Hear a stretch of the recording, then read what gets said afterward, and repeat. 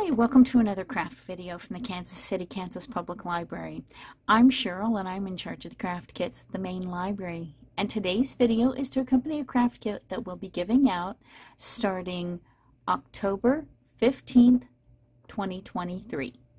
But if you can't make it to the library in time or you're watching this later on our YouTube channel, don't worry. I'll tell you everything you need to get to make this project yourself with supplies from your local craft store. So what we are making today is because it is October and the weather is starting to turn cold, we are making these rice-filled hand warmers. These are ones that you microwave for a few seconds to heat them up and then you'll warm your hands up for about 15 to 20 minutes at a time. Great if especially if you're trying to save energy costs and you have your your heater turned down a little bit low on the low side. So you're a little chilly. Make these heat them up in the microwave and they'll keep your fingers warm. So what we've got in the kit or what you'll need to purchase if you don't have a kit. Uh, first of all you will have a baggie of rice. This is not minute rice. You want the long cook rice. The minute rice won't work well in the microwave and how I measured this is I have these two little bowls and I measured them um, to be, I, I believe it's about a third to half a cup in each and that should give you enough to make two hand warmers at about this level of fullness. You don't want to overfill them because that will, you know, push them and strain the seams and that won't fit well in your hands. So this should be about the right amount for two hand warmers. Then we're going to have four pieces of cotton flannel fabric. Flannel just because it's fuzzy and it's soft. Uh, cotton because you do not want to put polyester or synthetic fabrics in the microwave to heat these up because they can melt so it has to be cotton. These are about four and a half by five inches. We have cut them it, with pinking shears in a zigzag to uh, try and eliminate some raveling on the edges. You will have a little baggie that contains two pieces of embroidery floss. Each one is about three foot or so, you're going to use one piece of embroidery floss around the stitch around uh, each warmer. And then we have a needle. Now this is not a small sewing needle. This is a big needle because we need a big eye to be able to fit the embroidery floss through it. But you want to make sure the ones with the big eyes, some of them might have dull uh, tips. You don't want the dull tip, you want the sharp tip because it needs to go through the fabric. You will also need a pair of scissors to cut your thread and you might want to have uh, a measuring cup or a couple of little bowls so that you can split your rice evenly and you don't have to worry about um, getting one fuller than the other. You will also need a microwave because these are heated up in the microwave to get them warm. Now let's get started on the instructions.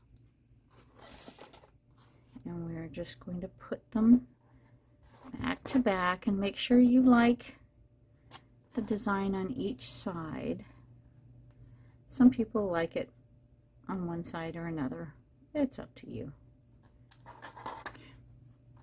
Now we're going to take one of the pieces of embroidery floss and you should have you should be able to do one hand warmer with each piece.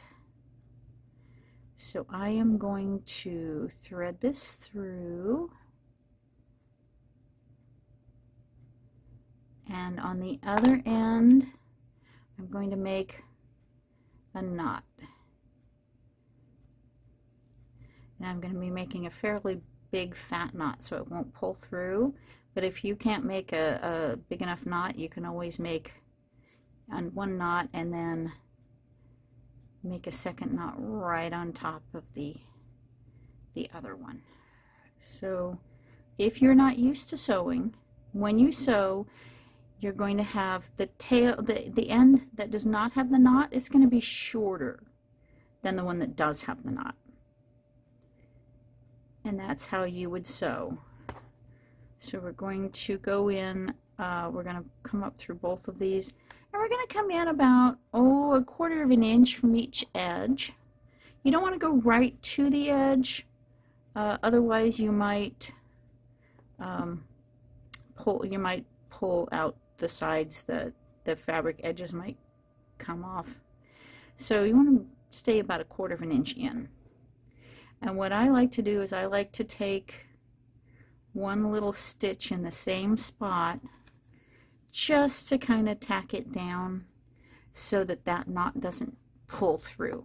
And if you if you take a, a stitch in the same spot, that kind of locks that end. Now we're just going to go in and out and in and out. And you want to do these, unfortunately some of these have straight lines where we can follow. And you want to do this fairly close together. You can do one stitch at a time if you'd like.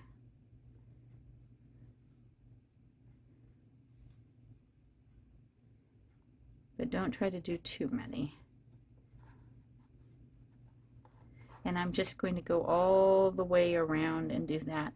And I personally am going to take another uh, back stitch right at each corner to reinforce the corners. So I will be right back when I've got this side done. Okay, I finished one side and I'm going to smooth it down and make sure that my stitches aren't pulling it up too tight. And so now I'm going to, um, I'm going to go down and take a stitch the other direction so that I was going this way, now I'm going this way. And as I said, I'm going to take another stitch in the corner. So I'm going to go down where I was going before and come right back up in the same spot to lock those corners in place. Now, I am going to go ahead and do three sides. Do not do the fourth side. That's the part we're going to pour the rice into. So we're going to do three sides with the stitches, reinforce that corner, and then pause while we put the rice in.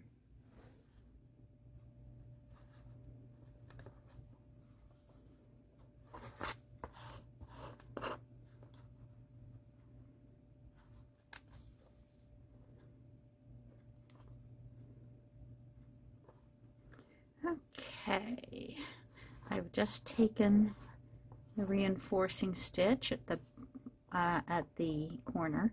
Now, if you're not a, a normal sewer, if you don't do a lot of hand sewing, if you get to the point where um, this one is this end is no longer shorter, it's about the same size, you'll want to just um, kind of tug on your needle a little bit to give you a little bit extra room. So that that side is always shorter. That keeps you from doing two uh, double thickness of stitches. Okay, so I have taken my uh, back stitch in the corner and I've left this side open and now we're going to take this rice and if you have a spoon, you can use a spoon. If you're really careful and have somebody to help you, you might be able to pour it in a little bit, but I don't risk it. And you're going to put half in here. Now you are certainly welcome to measure this rice so that you can definitely get half exactly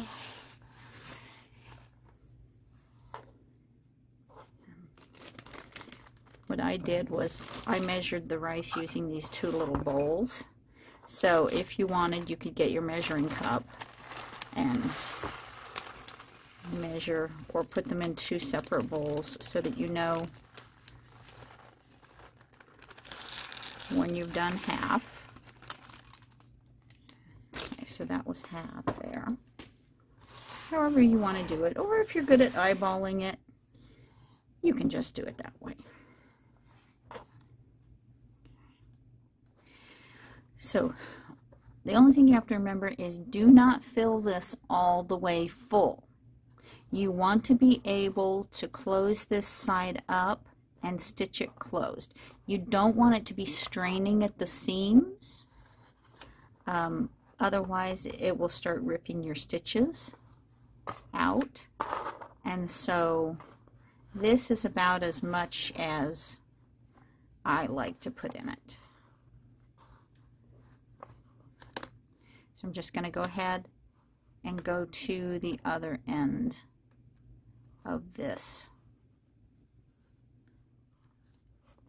So you see, if you had this extremely full, um, you would be uh, worrying about keeping it closed and not letting the rice fall out.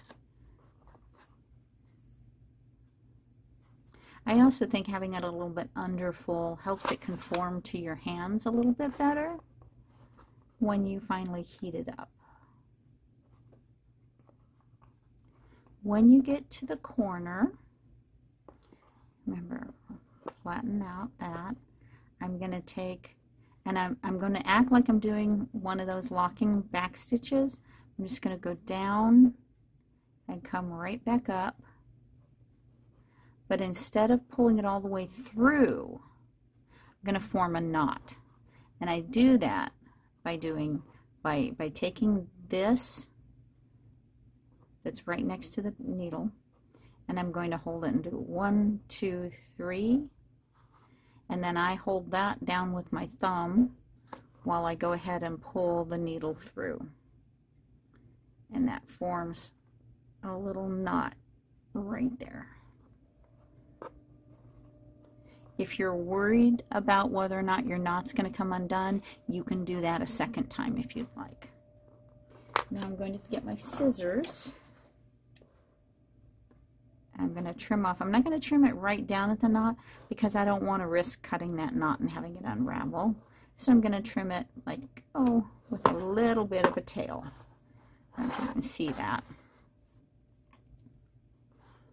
A little bit of that tail there. And so that's going to be my hand warmer and you might have some ravelly pieces here and there. This is why we cut the fabric with this zigzag scissors. They're called pinking shears because we're not um, see, we're not hemming these edges. And if you just left them, if you just cut them straight, those little fringy parts might just pull and start unraveling the whole side. Whereas the little pinking pointy cutting actually helps keep it from completely unraveling the fabric. Although it, it might, you might find little pieces here and there coming off. That's perfectly fine. So I'm going to go ahead and do the second one with the second piece of embroidery thread, embroidery floss. And when it's finished, I'll come on back and we'll do the little wrap up. Okay, so there's our finished hand warmers.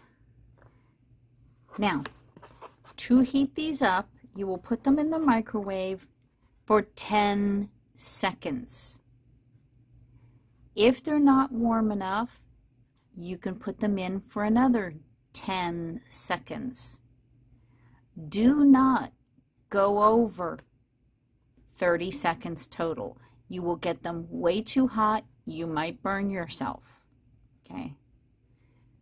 10 seconds at a time until they're warm, no more than 30 maximum. You probably only need 20 seconds.